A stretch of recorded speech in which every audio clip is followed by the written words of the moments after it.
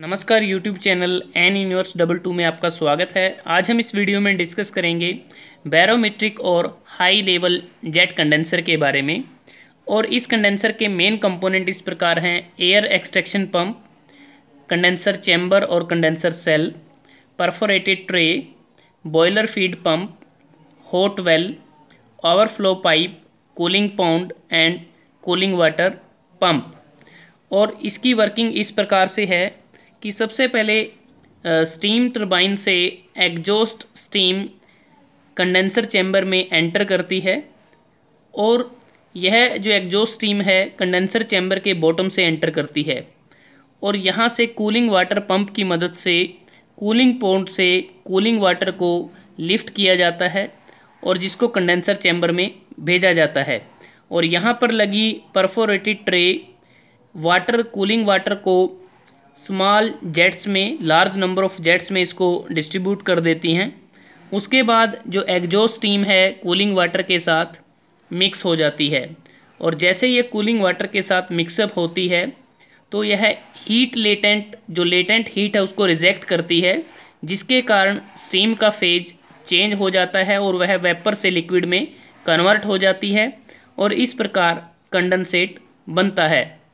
उसके बाद यहाँ पर कंडेंसेट और कूलिंग वाटर कलेक्ट हो जाता है और वह इस लॉन्ग पाइप की मदद से जिसे डिस्चार्ज पाइप या टेल पाइप कहते हैं और जिसकी लंबाई मिनिमम दस दशमलव तीन छः तीन मीटर होती है और इस लॉन्ग पाइप से कंडेंसेट और कूलिंग वाटर को हॉट वेल में भेजा जाता है ग्रेविटेशनल फोर्स की वजह से, जिसके कारण यह अपने आप ही फ्लो करता है और इसमें किसी प्रकार से अलग से कंडेंसेट एक्सट्रैक्शन पंप की ज़रूरत नहीं होती।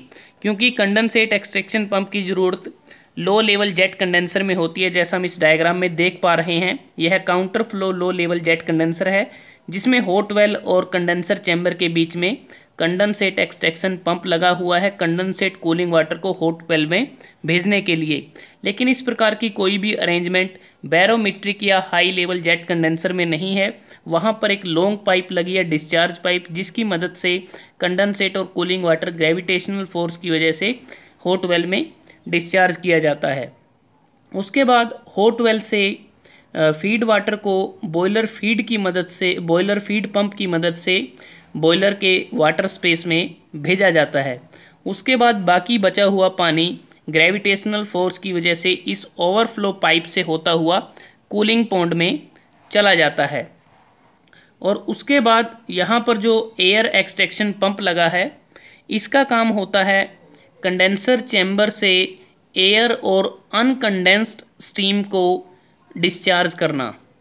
और उसके बाद कुछ वैक्यूम भी क्रिएट होता है। Air extraction pump small size का और स्मॉल कैपेसिटी का होता है। इसकी वजह से जो वैक्यूम क्रिएट होता है और कूलिंग वाटर पंप दोनों की मदद से कूलिंग पॉइंट से कूलिंग वाटर को लिफ्ट किया जाता है और उसको परफोरेटेड ट्रे में भेजा जाता है। तो इस प्रकार से बैरोमीट्रिक और हाई लेवल जेट कंडेंसर काम करता है और इसमें जो फ्लो होता है स्टीम टरबाइन से आने वाली एग्जॉस्ट स्टीम का वो अपवर्ड होता है। और कूलिंग वाटर का डाउनवर्ड होता है और इसलिए इसे काउंटर फ्लो जेट कंडेंसर भी कहते हैं हाई लेवल का। और इसकी जो वर्किंग है, वो लो लेवल जेट कंडेंसर की तरह ही होती है। सिर्फ़ इसमें कूलिंग वाटर पंप लगा होता है और एक डिस्चार्ज पाइप लगी होती है और लो लेवल जेट कंडेंसर में डिस्चार्ज पाइप की जगह कंडेंसेट एक्सट्रैक्शन पंप लगा होता है और यहाँ पर कूलिंग वाटर पंप की ज़रूरत नहीं होती। अब इसमें बात करते हैं कि जो कूलिंग पॉइंट से कूलिंग वाटर को, इस कूलिंग वाटर की मदद से इसको लिफ्ट किया जाता है। इसकी कुछ एडवांटेज भी हैं, या एप्लीकेशन कह सकते हैं। इस टाइप के जेट कंडेंसर को साल्ट मैन्युफैक्चरिंग कंपनीज़ में शुगर मिल्क और फ़ूड प्लांट में canneries chemical industries petroleum refineries pulp and paper mills में इसका प्रयोग किया जाता है। तो दोस्तों, आज हमने डिस्कस किया बैरोमीट्रिक और हाई लेवल जेट कंडेंसर के क्या क्या कंपोनेंट्स हैं और यह कैसे कार्य करता है।